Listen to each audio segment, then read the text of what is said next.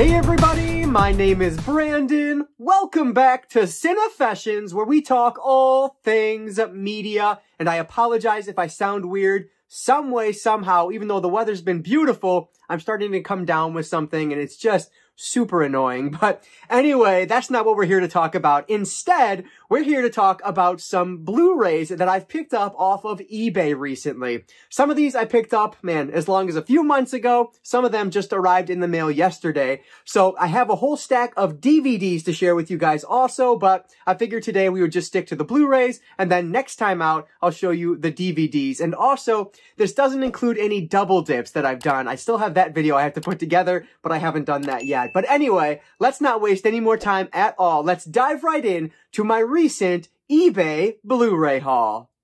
Alright, so let's start off with kind of an interesting one, simply because of what I've done here. So I'm gonna shout out Huck over at Huck's Movie Channel. He does his famous Huckstimizations, where he basically mixes in uh, the DVDs with the Blu-rays or the 4K, whatever the case might be. Because of his inspiration, I decided to do that with my version of Chicago. So I realized that I only had Chicago. Let me, let me take this off here for a second. There, a little less glare. So I only had Chicago in the Razzle Dazzle DVD edition. I didn't have it on Blu-ray. So I ordered the Blu-ray off of Amazon, but the Blu-ray does not have nearly as many special features as the Razzle Dazzle edition does. I assumed it would be, you know, equivalent because this is the Diamond edition, but that's not the case. So what I did was, well, first off, I customized the slipcover from the DVD. So you can see it is cut off a little bit there versus, you know, seeing their whole legs. And on the back as well, you can kind of see where it was cut off down at the bottom. But I decided to use this uh, slipcover and put it on the Blu-ray. So on the inside here, you can see we have the Diamond Edition Blu-ray, which has a DVD with it, but then we also have the Razzle Dazzle Edition DVD, which is actually two DVDs. So this is now a four disc set. And you can see on the inside, I have the DVD artwork put in there. You can see that's the, the front of the DVD art, but there it lists all the special features. So this way, I know what special features are included on all four discs. So that's what I did. Again, a shout out to Huck. This is exactly what he actually, after I did this one, he did one with Chicago. If I'm not mistaken, I think he did one with Chicago as well. I don't know that it was exactly the same thing I ended up doing here. He might have had different editions, but yeah, either way, this movie's amazing. Like, this was the first time I ever went to the theater and could sing the songs before I actually saw the movie because my buddies and I would listen to this all the time. I was a, a theater guy in high school, so a huge nerd, and we used to listen to the Chicago soundtrack all the time after it came out. So by the time it actually got to theaters, we knew all the songs and loved it. Of course, I didn't sing along in the theater. I'm not that annoying, but yeah, just a great movie. So anyway, long one here, but I, I customized my version of Chicago to make it the best edition of it that I could. Hopefully I will do more of these in the future. I have a small list of other ones that I know I can combine. Alexander, I'm looking at you. That's like a seven disc set I can put together, but Anyway, that is Chicago. So it's a mixture of the Razzle Dazzle edition, which I already owned, and then the Diamond edition, which is the one I purchased off of eBay. Next up is one that you would have seen if you watched one of my recent I Watched 3 vlogs. This is The Adventures of Robin Hood, the Errol Flynn version. So I've heard really great things about this. I watched The Sword of Sherwood Forest for my uh, first I Watched 3 vlog of the year. I really enjoyed it. And so because of that, I decided to check this one out. And Neil mentioned in the comments on that vlog that hey, if you didn't love the sword fights in Sword of Sherwood Forest, you're going to love them in this. So I am really looking forward to checking this one out. I've not gotten around to it yet, but definitely will soon. So we have Errol Flynn's uh, The Adventures of Robin Hood. So I'm going to blame these next two pickups on Damn Fool Idealistic Crusade, an awesome channel, super into like the details of the discs and what audio tracks are available, how's the, the picture look and things like that. So if you're into that, definitely check him out. But in one of his best of the year videos, it may have been 2021 or 2022, I don't remember exactly, he uh, called out a couple of these Warner Archive Collection releases. He's a huge fan of that uh, publishing line. So I figured I would give both of these a shot because they sounded pretty interesting and I found them for really good prices. So the first one here is one that I think he said was his favorite uh, prison film of all time. This is Each Dawn I Die. And we have James Cagney and George Raft in here. And this is actually based on a novel by Jerome Odlum, who I don't recognize. I'm trying to see who directed this one. There it is. William Keighley directs this. So I don't know too much about it, but it's a it's a prison film and it's supposed to be excellent. I think I got this for under $10, so I figured I would give it a shot and see if I enjoy it or not. So yeah, really looking forward to checking this one out. I have not watched any James Cagney, at least not that I am aware of. So very excited to check out Each Dawn I Die. This next one is a horror film from Warner Archive, and it's one that he praised heavily. This is Dr. X, and it's a Michael Curtiz horror film.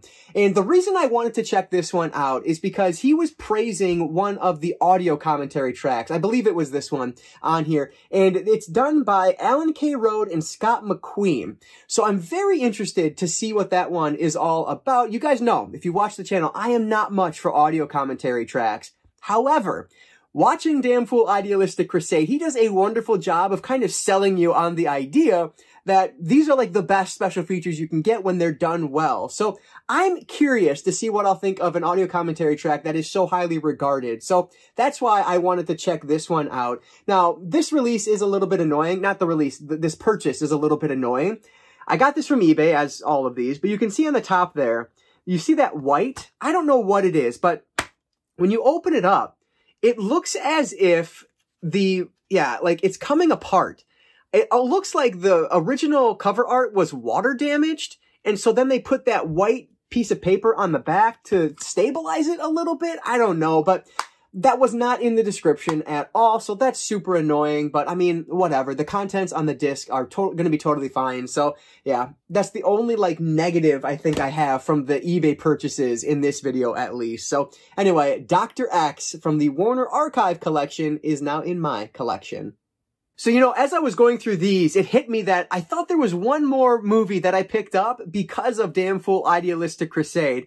Turns out there was. I actually uh, had to go grab it. It was over in the stack that I'm going to show you guys for all of the new items I bought in May. But I decided, you know what? Even though I technically bought this one brand new from, I think I got this one off Amazon because it was really cheap. I'm going to show it in this video anyway because it's all part of the, the same idea, same video. So this is called Mad Love.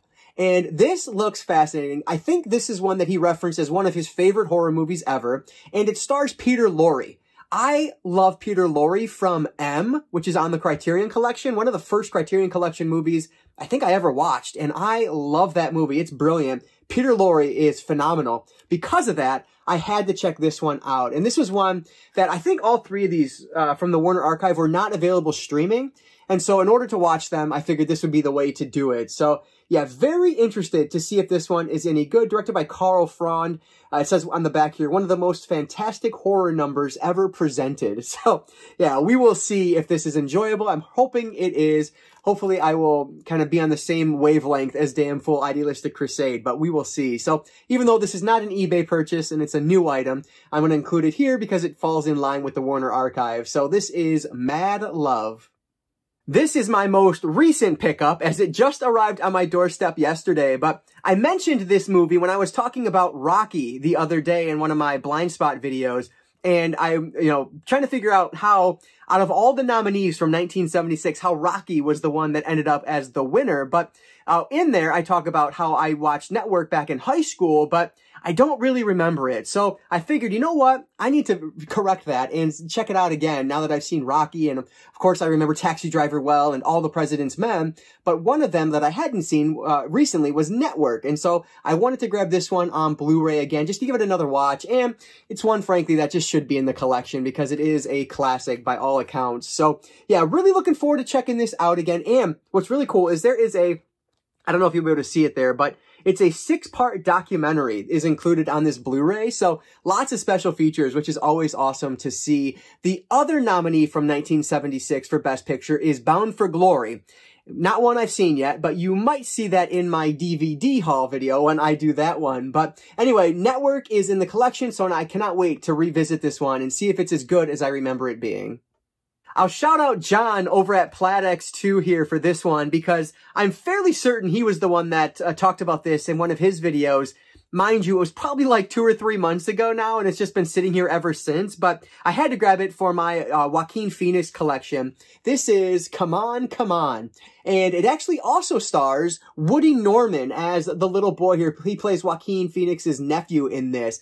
Woody Norman is awesome. He was in uh, Last Voyage of the Demeter, which I watched the beginning of this year, which I thought was a lot better than people give it credit for. But he was also in Cobweb, one of my favorite movies that I watched in 2023. I loved that horror film. So he's excellent. Joaquin Phoenix is one of my favorite actors of all time. I had to have this in the collection here. So this is going to be a drama. I think it's about the uh, relationship between Joaquin Phoenix and his character and uh, Woody Norman's character who plays his uh, nephew. So very intrigued to see this one. And uh, John, let me know down below if I'm completely making this up, if this wasn't one of yours, but I'm fairly certain that's how I heard about this one. So yeah, looking forward to checking out Come On, Come On.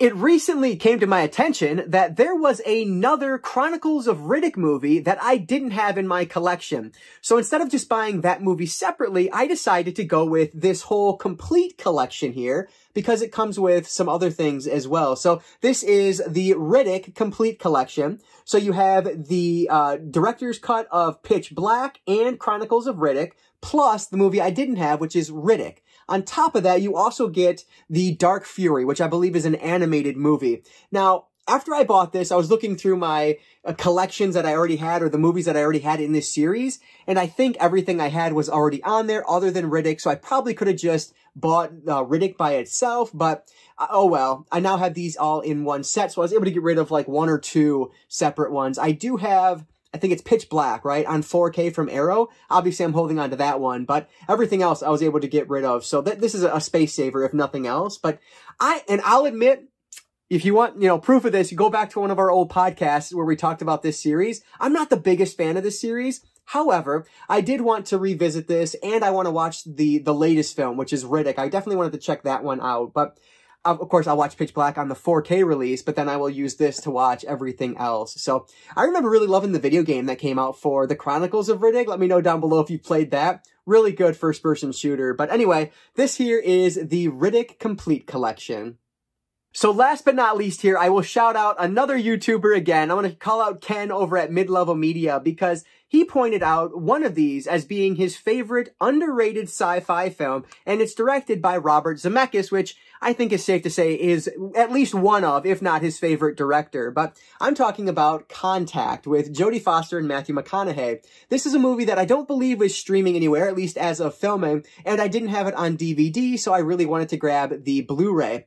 I decided to go with this triple feature because one, the price was right, and two, it also has 2010, the year we made contact. Now, I from how I understand it, that is the sequel to 2001 A Space Odyssey, which I've talked about here recently as one that I've just recently watched. And though I didn't love it, I respect it a ton, and I definitely want to check out the 2010 here. So, and then the third movie on here is Red Planet. That's a sci-fi film that I own uh, standalone of behind me, but I have not seen this one, at least that I recall when I go to watch it, maybe I'll remember it and, I, and remember that I have seen it, but I don't think that I have. So yeah, really looking forward to checking this one out. I, it's, you know, looks like a really cool set and the price was really good. I, they, I made an offer and they gave me a really good deal on it.